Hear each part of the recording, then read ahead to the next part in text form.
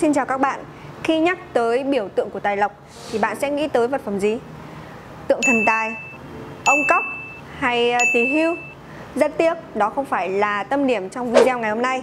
Và ngay bên cạnh oanh đây là cây tiền được đúc liền khối từ đồng thau thanh khiết.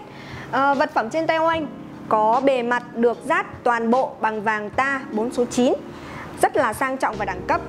Sản phẩm còn lại thì có màu sắc à, đồng mộc tự nhiên và có thiên hướng tạo màu giả cổ nhã nhặn và ừ, rất là thanh lịch. Mẫu cây tiền này thì có kích thước khoảng tầm 21cm và cân nặng khoảng à, 3kg. Đây là một kích thước khá là nhỏ gọn và thích hợp đặt trong à, kệ tủ này, kệ tivi, bàn làm việc hoặc cũng có thể đặt ở kết sắt hoặc là bàn thu ngân, rất là thích hợp. Về giá trị phong thủy thì cây tiền mang ý nghĩa biểu tượng cho may mắn, uh, chiêu tài lộc của cải về cho gia đình. Nói một chút về sản phẩm vậy thôi.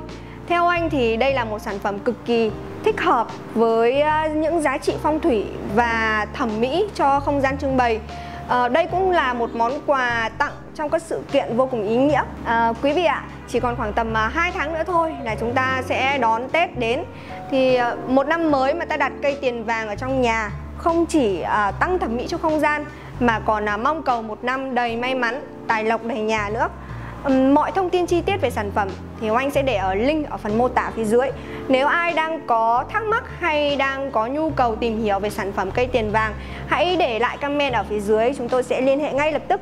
Xin cảm ơn quý vị đã lắng nghe và hẹn gặp lại trong video ngày hôm sau. Xin cảm ơn.